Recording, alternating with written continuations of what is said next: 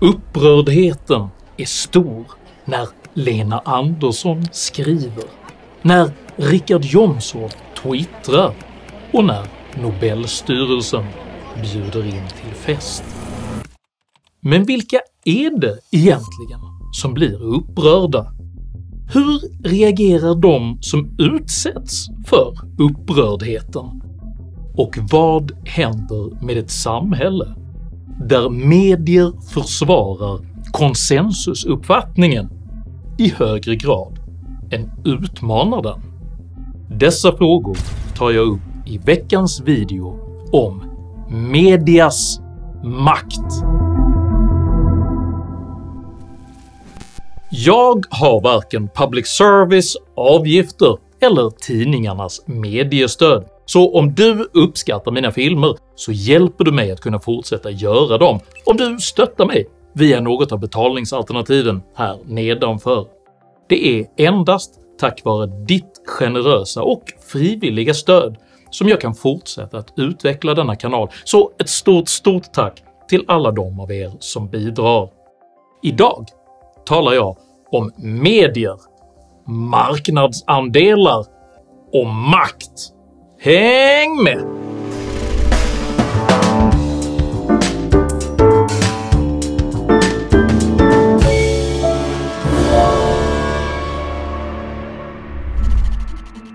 I fantasyserien Harry Potter bedriver tidningen Daily Prophet smutskastningskampanjer mot alla som påtalar samhällsproblem som man inte vill kännas vid. Fudge is using all his power, including his influence at the Daily Prophet, to smear anyone who claims the Dark Lord has returned. I takt med att problemen blir allt mer uppenbara inrättas ett inkvisitionsämbete för att kontrollera vem som överhuvudtaget ska få komma till tals. From now on, you will be following a carefully structured, ministry approved course of defensive magic. När krisen väl kommer inser dock folket att de blivit lurade och reser sig likt en jätte mot de korrupta institutionerna. No, enough! I will have order!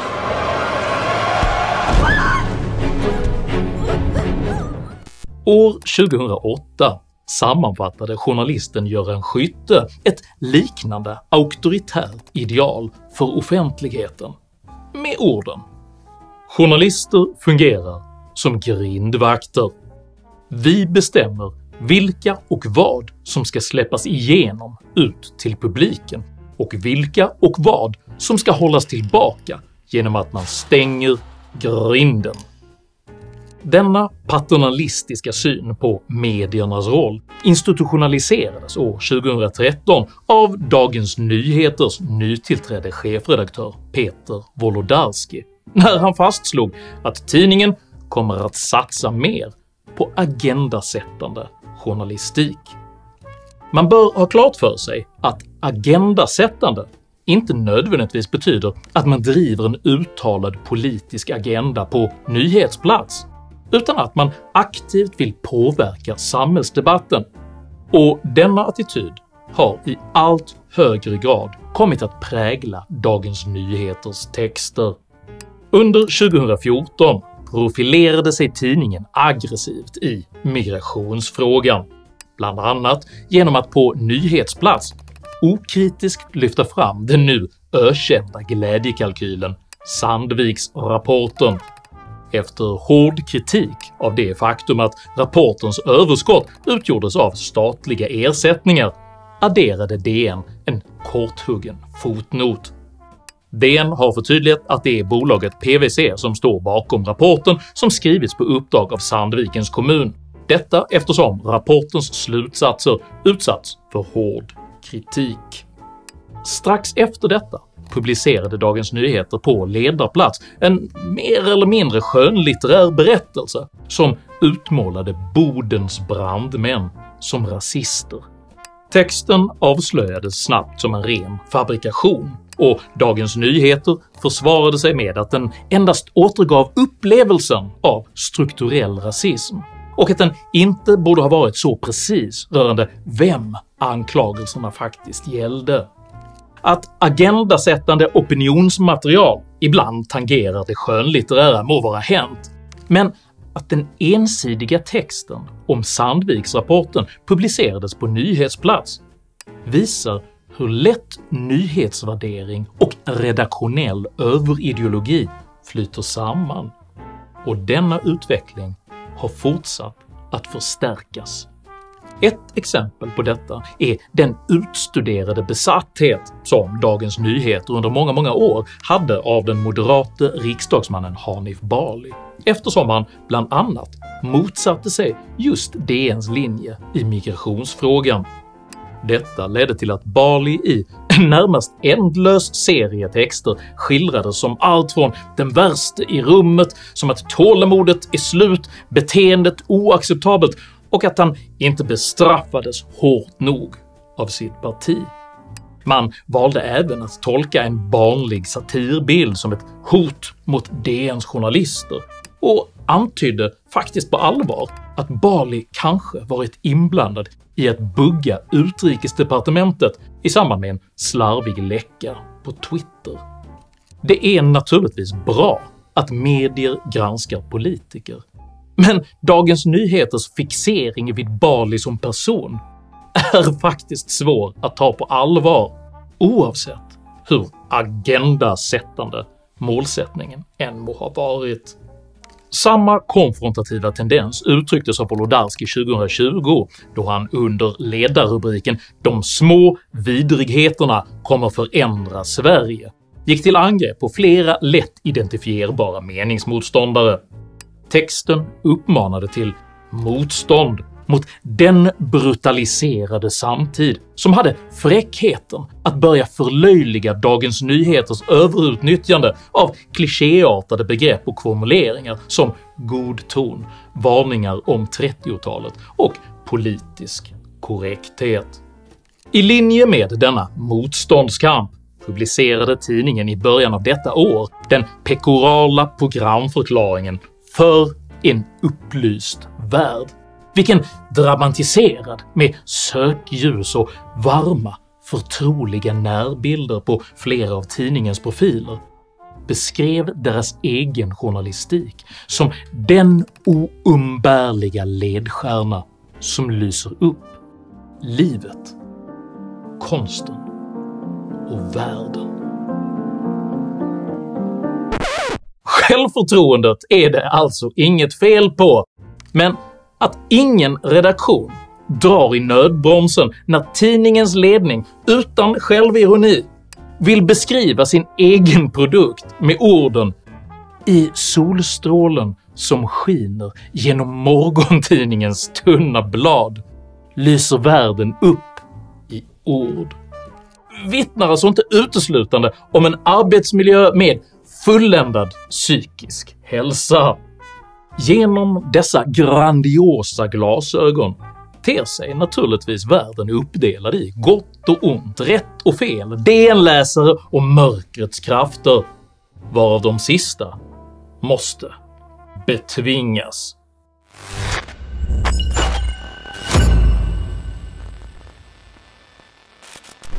I linje med Dagens Nyheters bombastiska nya programförklaring anklagade Wolodarski nyligen tidningens tidigare krönikör Lena Andersson för att upprätthålla en intellektuell fasad för stolligheter.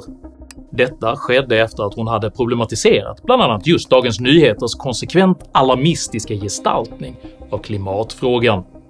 Wolodarski skriver det är en medial sjuka i vår tid av massiv desinformation som Trumpåren och sociala medier bidragit till att reducera allt till en debatt. Mediers uppgift är inte bara att guida eller balansera mellan olika inlägg, det är att fungera som organ för kunskap så att medborgaren lättare kan verka i demokratin. Fienden är alltså enligt Wolodarski sociala medier, det pluralistiska debattklimatet och så kallad falsk balans.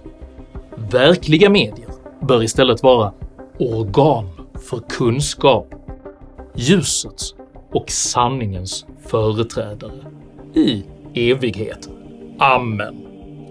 Övertygelsen att man som organisation både förvaltar, förstår och förklarar sanningen objektivt och utan förvanskningar är inte bara arrogant, det skapar även den egenmäktighet som gör att man önskar stoppa de uppfattade lögnare som inte håller med en själv.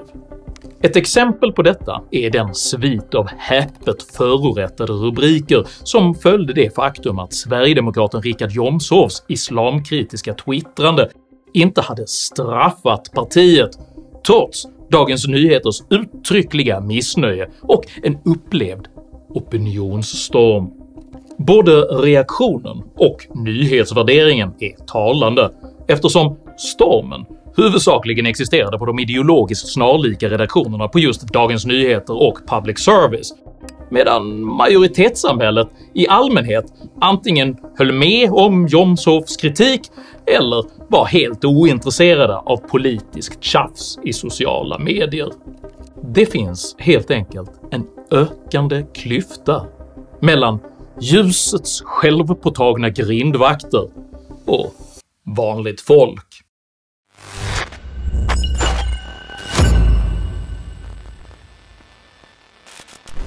Nyligen valde Donald Trump bort republikanernas primärvalsdebatt och lät sig istället intervjuas av den deplattformerade före detta Fox-journalisten Tucker Carlson på X. Why aren't you at the Fox News debate tonight in Milwaukee? I'm leading by 50 and 60 points. And I'm saying, do I sit there for an hour or two hours, whatever it's going to be, and get harassed by people that shouldn't even be running for president, and a network that isn't particularly friendly to me? Intervjun, som streamades live, fick över 100 miljoner visningar redan under det första dygnet, medan primärvalsdebattens tittarsiffror var historiskt låga. På samma sätt valde Richard Jomshof bort Sveriges etablerade och antagonistiska grindvaktsmedia och gav istället en tre timmar lång intervju i podcasten “Sista måltiden”.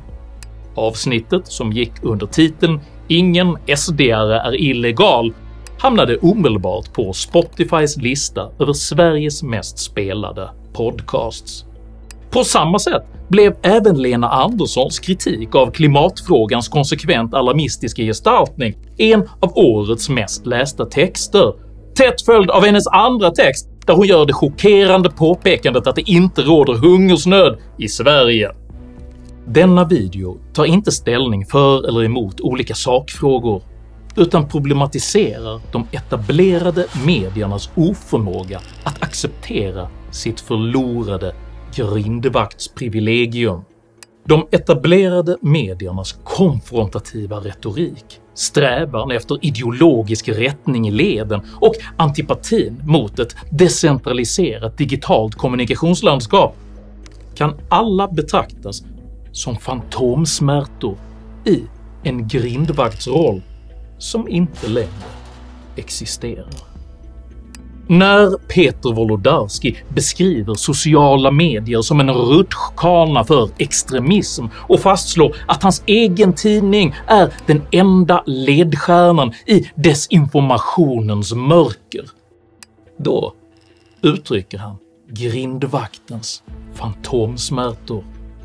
När mediestrategen Britt Stakston beskriver de sociala medierna som manipulation av det offentliga samtalet och att under rubriken “Alla röster förtjänar inte att komma till tals” förordar vad hon kallar “strategisk tystnad” för att inte släppa fram fel åsikter. Då uttrycker hon grindvaktens fantomsmärtor.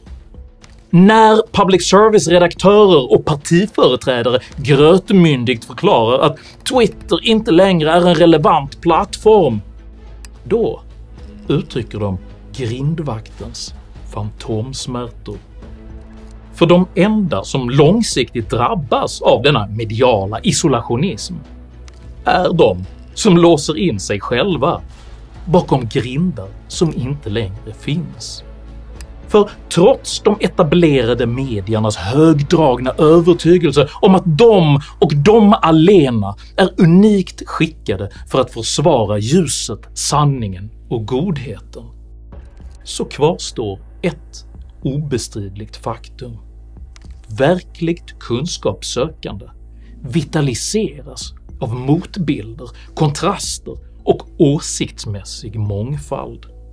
Den som däremot önskar upprätthålla en renlärig gestaltning, dramaturgi och åsiktsgemenskap måste ytterst även bekämpa motbilder som opassande distraktionsmoment. Att nyansera klimatfrågan bespottas därför som klimatförnekelse. Att problematisera migrationsfrågan förkastas därför som rasism. Att påpeka att reduktionsplikten är en chimär och att grönt stål inte kan produceras med propellerdrift hånas som osolidariskt bakåtsträvande. Motbilderna finner vi nu istället i just de sociala och alternativa medier som så ihärdigt bespottas av grindvakterna. Det är därför folk loggar in på Flashback för att komplettera den information som tidningarnas redaktioner inte delger. Det är därför folk utbyter tankar i sociala medier, besöker Discord-servrar, Twitch-kanaler och tittar på den här kanalen på YouTube. För att få den motbild som gör världen tredimensionell istället för den tvådimensionellt sammanhållna berättelse som så nitiskt upprätthålls under grindvakternas tilltagande fantomsmärtor. Att företräda sanningen innebär inte att försvara en överideologiskt renlärig berättelse, utan att acceptera ett flöde av konflikter, paradoxer och motsägelser och ändå konstruktivt förhålla sig till verkligheten som den är. Inte som vi vill att den ska vara, utan sådan som den faktiskt är. Att klimatfrågan är värd att ta på stort allvar och att den kanske ändå inte bör skildras som världens undergång varenda vecka. Att migration och fri rörlighet faktiskt kan berika samhällen, men att rimliga volymer, kravställningar och en genomtänkt integrationspolitik i så fall också är nödvändig. Och att omställning, hållbarhet och miljöarbete är rimligt, men måste ske på ett sätt som är både fysiskt, tidsmässigt och ekonomiskt möjligt. Och verklighetens pluralism är inte små vidrigheter. Inte heller rutschkanor till extremism, eller ens fake news, desinformation eller trumpism. Sanningen är bara spretig, mångfacetterad och full av möjligheter. Jag säger inte att de etablerade medierna avsiktligt försöker vilseleda sin publik, men deras ovilja att tolerera avvikelser eller ens kompletteringar av den egna verklighetsbeskrivningen gör det svårare, inte lättare, för människor att konstruktivt närma sig sanningen. Och när folk inser att man inte är den auktoritet man utgett sig för att vara, då riskerar de att göra sig av med både storinkvisitorer och självutnämnda grindvakter.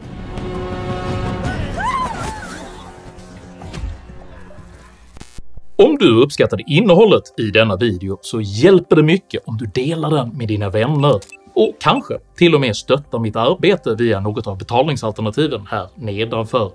Dela även gärna med dig av dina egna åsikter och erfarenheter i kommentarsfältet här nedanför, men jag ber dig att alltid vara artig.